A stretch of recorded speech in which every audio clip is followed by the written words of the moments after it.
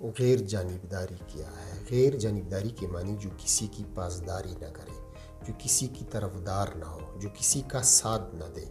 फ़रीक़ैन में किसी एक फ़रीक की तरफ़ झुकाव ना हो। गैर जानबदारी का मतलब किसी फ़रीक के हक़ में ना होना।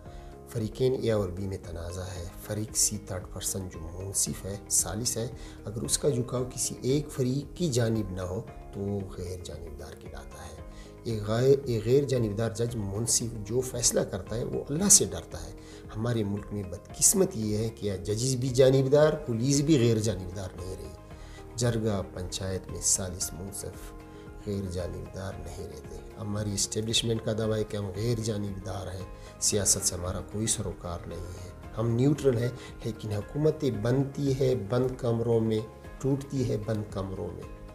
जजिस का भी गैर जानबदारी का दावा है। लेकिन यहाँ फैसले भी जजिस से लिखवाए जाते हैं कराए जाते हैं।